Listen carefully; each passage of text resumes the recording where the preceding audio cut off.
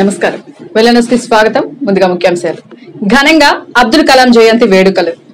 TDP YCP పోటాపోటీగా శామలపురం ZPTC ఎన్నికల ప్రచారం. వైఎస్ఆర్ కాంగ్రెస్ పార్టీ నాయకులు కార్యకర్తలు వినుకొండ పట్టణంలోని వైఎస్ఆర్ కాంగ్రెస్ పార్టీ కార్యాలయంలో నేడు జాతీయ విద్యా దినోత్సవం. రాష్ట్ర మైనార్టీ సంక్షేమ దినోత్సవం సందర్భంగా దేశంలో విద్యా అభివృద్ధికి తొలిబాట వేసిన విద్యాధికుడు భారతరత్న మౌలానా అబ్దుల్ కలాం ఆజాద్ జయంతి సందర్భంగా ఆయన చిత్రపటానికి నివాళులర్పించి జయంతి వేడుకలు నిర్వహించారు. ఈ సందర్భంగా వారు మాట్లాడుతూ ఆయన భారతదేశ మొదటి విద్యాశాఖ మంత్రిగా పనిచేశారని అబ్దుల్ కలాం మంత్రిగా ఉన్న సమయంలో ఢిల్లీలోని ప్రసిద్ధ జామియా మిలియా ఇస్లామియా విశ్వవిద్యాలయం సహా భారతదేశం అంతటా వివిధ కళాశాలలు విశ్వవిద్యాలయాలు ప్రారంభించారు అని ఆయన సేవలకు గుర్తుగా రెండు వేల ఎనిమిదిలో భారత ప్రభుత్వం ఆయన పుట్టినరోజును జాతీయ విద్యా దినోత్సవంగా నిర్ణయించిందని అన్నారు. భారతదేశానికి స్వాతంత్ర్యం వచ్చిన తర్వాత మన దేశంలో విద్యా వ్యవస్థ పటిష్టతకు విద్యా వ్యవస్థను మెరుగుపరిచేందుకు అంకిత భావంతో పనిచేశారని చిన్నపిల్లల్లో ప్రాథమిక విద్యను ప్రోత్సహించడానికి పిల్లలను పాఠశాలల్లో చేర్పించడాన్ని ప్రోత్సహించారని తెలిపారు.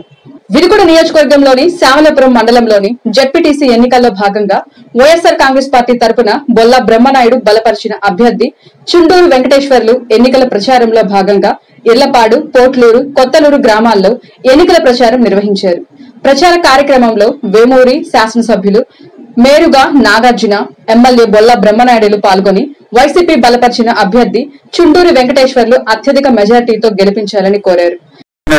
గౌరవనీయులు మరి పెద్దలు ఏమూరు శాసన సభ్యులు మరి నా నాగార్జున గారు అదేవిధంగా మన అభ్యర్థి అయినటువంటి మన అభ్యర్థి సుందూరు వెంకటేశ్వరరావు గారు మీ అందరికీ తెలుసు జెడ్పీటీసీ అభ్యర్థిగా పోటీలో మరి ప్రాణ గుర్తుపై పోటీ చేస్తున్నారు.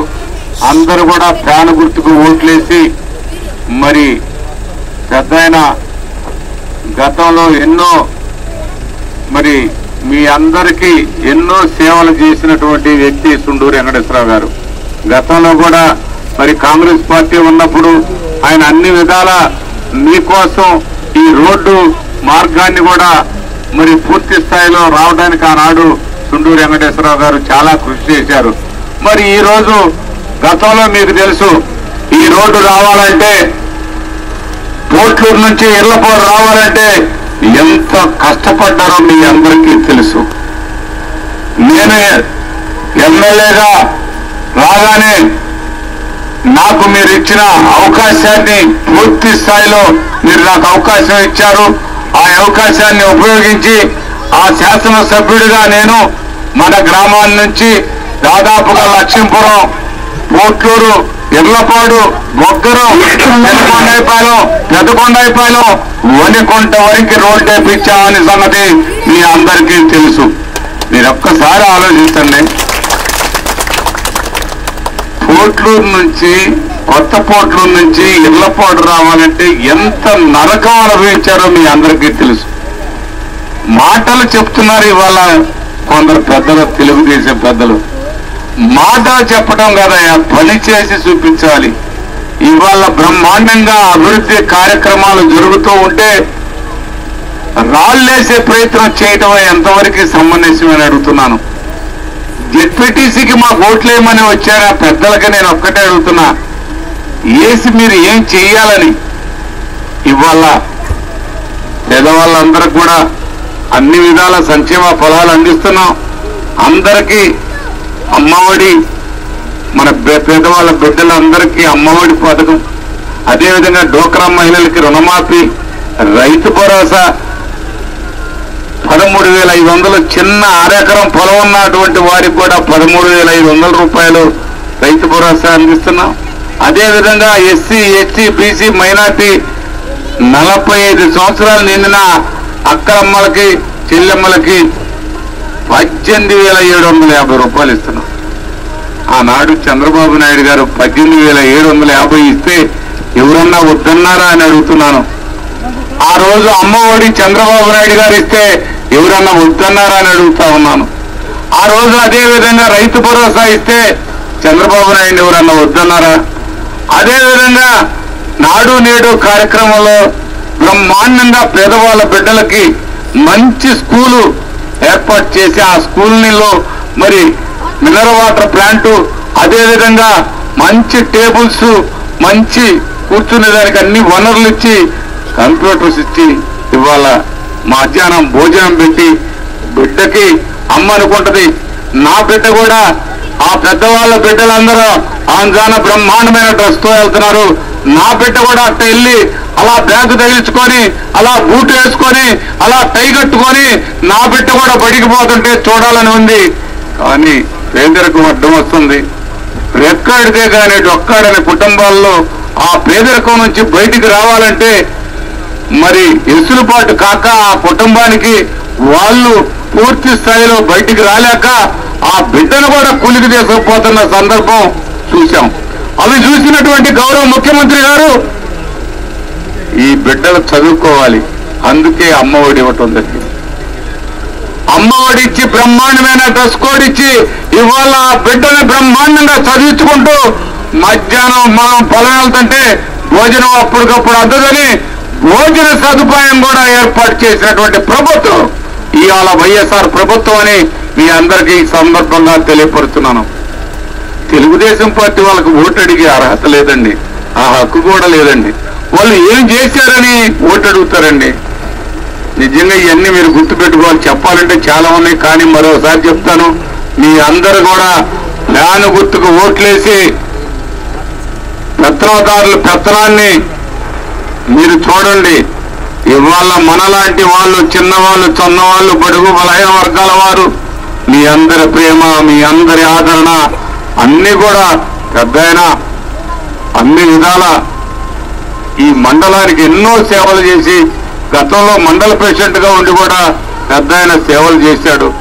ఆయన్ని జెడ్పీటీసీగా మనం పంపిస్తే గుంటూరు జెడ్పీలో నెంబర్గా ఉంటే బ్రహ్మాండంగా జెడ్పీలో మాట్లాడి ఇంకా మనకి మరిన్ని వనరులు కల్పించే విధంగా మరిన్ని ఫండ్స్ కూడా తీసుకురావాలన్న తీసుకురావాల్సిన అవసరం ఉంది.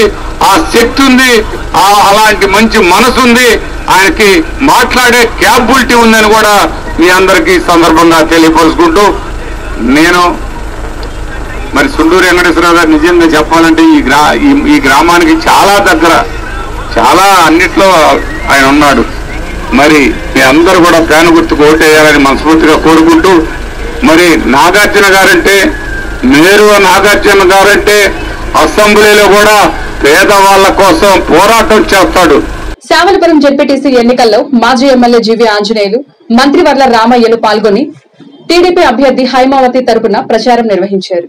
మండలంలోని పలు గ్రామాల్లో ఇంటింటి ప్రచారం నిర్వహించి టీడీపీ అభ్యర్థి హైమావతిని గెలిపించాలని అభ్యర్థించారు. ఈరోజు రైతులు పాలిట ఈ ప్రభుత్వం వచ్చినాక. పండిన పంట గిట్టుబాటు ధర లేక రైతులు నష్టాల్లో కూరుకుపోయారు. వరి పండించిన వాళ్ళకి ఈరోజు గిట్టుబాటు ధర లెక్క నష్టాలు వచ్చినాయి. రైతులు రెండు సంవత్సరాల నుండి జగన్ ప్రభుత్వం వచ్చినాక. అయితే ఒడ్లు కొన్నా కూడా డబ్బులు సకాలంలో ఇవ్వలే. ఆ విధంగా రైతులు గిట్టుబాటు ధర లేక రాష్ట్ర వ్యాప్తంగా రైతులు నష్టాల్లో కూరుకుపోయారు జగన్ ప్రభుత్వం వచ్చినాక. ఒక్కసారి ఆలోచించండి. బీసీ కార్పొరేషన్లు ఎత్తేశారు. కాప్ కార్పొరేషన్ లోను ఒక్కటి ఈ రాష్ట్రంలో. ఎస్సీ కార్పొరేషన్ లోను ఒక్కటి ఈ రాష్ట్రంలో. రెండున్నర సంవత్సరాల నుండి పేదవారికి ఒక కింది కూడా ఇవ్వలేదంటే ఈ ప్రభుత్వం.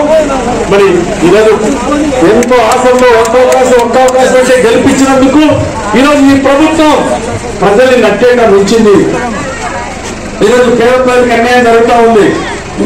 సంవత్సరానికి ఐదు ఐదు లక్షలు ఇల్లు ఇస్తామని చెప్పి ఇప్పుడు పది లక్షలు ఇల్లు కట్టాల్సింది పై ప్రభుత్వం. పది ఇల్లు కూడా కట్టాల రాష్ట్రంలో. పది ఇల్లు కూడా బిల్లు ఇవ్వలేదని మీకు విజ్ఞప్తి చేస్తా ఉన్నా. బీసీ కార్పొరేషన్లో ఎందుకు ఆపారో జగన్ రెడ్డి సమాధానం చెప్పాలి. అలాగే క్రాప్ కార్పొరేషన్లో ఎందుకు ఆపారో జగన్ రెడ్డి సమాధానం చెప్పాలి. ఎస్సీలకు ఆడపిల్ల పెళ్ళి కానుక బీసీలకు ఆడపిల్ల పెళ్ళి కానుక ఎందుకు ఆపాడు జగన్ రెడ్డి వచ్చినాక. అన్నా క్యాంటీన్ పేదలకు ఐదు రూపాయలు కన్నం పెట్టే అన్నా క్యాంటీన్ కూడా తండ్రి ఫోటో వేసుకుని రాజశేఖర రెడ్డి గారి ఫోటో వేసుకుని మోపేస్తున్నారు ఈ ప్రభుత్వాన్ని సిగ్గుసేది కదా? వంట వంట గ్యాస్ పెట్రోల్ రేట్లు పెంచినందువల్ల నిత్యావసర సరుకుల రేట్లు పెరిగిపోయినాయి. ఈరోజు పేదవాడు ఆకలి బాధలతో ఉన్నాడు. పదివేల రూపాయలు ఇచ్చినట్టు చూపిస్తూ ఉన్నారు. కానీ నెలకి ఐదు వేల రూపాయలు వెనక్కి వసూలు చేస్తూ ఉన్నారు. ఆ విధంగా సంవత్సరానికి పేదవాడికి ఈరోజు నిత్యావసర సరుకుల రేట్లు పెరిగినందువల్ల మందు రేట్లు పెంచారు. ఇసుక రేటు పెంచారు. పేదవాడు ఇల్లు కట్టుకునే పరిస్థితి ఉందా ఈ రోజు రాష్ట్రంలో? ఇసుక సిమెంట్ రేటు పెంచారు జగన్ రెడ్డి ప్రభుత్వం వచ్చాక చంద్రబాబు గారు ఉచితంగా ఇంటికి ఇసుకిచ్చాడు ఈ ప్రభుత్వం ఎందుకు ఇవ్వలేకపోతుందో ఒకసారి ఆలోచించమని ప్రజలు విజ్ఞప్తి చేస్తున్నారు. విజ్ఞానవంతులారా సహోదరులారా పెద్దలారా అందరికీ నమస్కారం. చాలా సంతోషం. దురదృష్టవశాత్తు అకాల మరణం పొందిన సోదరులు పారా హైమారావు గారి స్మృత్యర్థం. ఆయన చనిపోయినప్పుడు మేము కూడా వచ్చాం. పార్టీలో ఒక మంచి నాయకుడు నిబద్ధత కలిగిన నాయకుడు పార్టీ పట్ల అకుంఠిత భావంతో పనిచేసిన వ్యక్తి. ఏ సిద్ధాంతం కోసం ఆనాడు విశ్వవిఖ్యాత నట సార్వభౌముడు స్వర్గీయ నందమూరి తారక రామారావు గారు తెలుగుదేశం పార్టీని స్థాపించారు ఆ సిద్ధాంతానికి ఆయన ఆఖరి శ్వాస విడిచేంత వరకు కూడా ఆ సిద్ధాంతాన్ని కట్టుబడిన వ్యక్తి సోదరుడు హైమారావు గారు అని చెప్పి కూడా మీ అందరికి నేను తెలియజేస్తున్నా. ఆయన అకాల మరణంతో ఎన్నిక వాయిదా పడటం మరలా ఇప్పుడు ఎన్నిక నిర్వహించడానికి సిద్ధపడినప్పుడు తెలుగుదేశం పార్టీ ఒక నిబద్ధత కలిగిన నాయకుడు. వినుకొండ పట్టణంలోని టీఎంబీ బ్యాంక్ స్థాపించి నేటికి వంద సంవత్సరాలు పూర్తి చేసుకున్న సందర్భంగా వినుకొండ బ్రాంచ్ నందు వంద సంవత్సరాల వేడుకలను గురువారం ఘనంగా నిర్వహించారు. ఈ శుభ సందర్భంగా వ్యాపారస్తులకు రుణాలు గృహ రుణాలు ఇతర రుణాలు మంజూరు చేశారు. అఖిల భారత యువజన సమాఖ్య పట్టణ ఇరవై ఆరో వార్డు శాఖ సమావేశము గురువారం శివయ్య భవన్లో జరిగింది. ఈ సమావేశానికి ఏఐవైఎఫ్ మాజీ జిల్లా కార్యదర్శి భూదాల సాగర్ బాబు అధ్యక్షతన జరిగింది. ఈ సమావేశానికి ముఖ్య అతిథులుగా పఠాన్ లాల్ ఖాన్ ముఖ్య అతిథులుగా హాజరై మాట్లాడుతూ అఖిల భారత యువజన సమాఖ్య ఏఐవైఎఫ్ పంతొమ్మిది వందల యాభై తొమ్మిది మే మూడున ఆవిర్భవించి భగత్ సింగ్ రాజ్గురు సుఖ్దేవ్ చేగువేరా అల్లూరి సీతారామరాజు కన్నెగంటి హనుమంతు వంటి ఎందరో విప్లవ కిషోరాలను స్ఫూర్తిగా తీసుకొని ఎన్నో ఉద్యమాలను చేస్తూ పద్దెనిమిది సంవత్సరాలు నిండిన యువతీ యువకులకు ఓటు హక్కు కల్పించడం కోసం అలుపెరిగిన పోరాటం చేసి విజయం సాధించింది. నేడు యువతకు విద్య వైద్యం ఉపాధి కోసం పోరాటాలు చేస్తుంది అని తెలియజేశారు. అనంతరం ఇరవై ఆరో వార్డు ఏఐవైఎఫ్ నూతన కమిటీని ఎన్నిక చేశారు. కార్తీక మాసం సందర్భంగా పట్టణంలోని నష్టపేట రోడ్డులో సాయి ప్రకాష్ వారి ఆధ్వర్యంలో గురువారం పేదలకు ఉచిత అన్నదానం చేశారు. ఈ సందర్భంగా నిర్వాహకులు పెంచల బాబు మాట్లాడుతూ అన్ని దానాల కంటే అన్నదానం గొప్పదని ఆకలిగొన్న వారికి అన్నదానం చేయకపోయినా అన్నం పెట్టే ఇంటినైనా చూపించమని పెద్దలు చెప్తారని వివరించారు. ఎంత సంపద ఉన్నా నలుగురికి పెట్టే గుణం ఉన్నవాడే అసలైన ధనవంతుడని అభిప్రాయం వ్యక్తం చేశారు. ఇతరుతో వెన్నెలను సమాప్తం. తిరిగి రేపటి వెళ్ళనుసులో కలుసుకుందాం. నమస్కారం.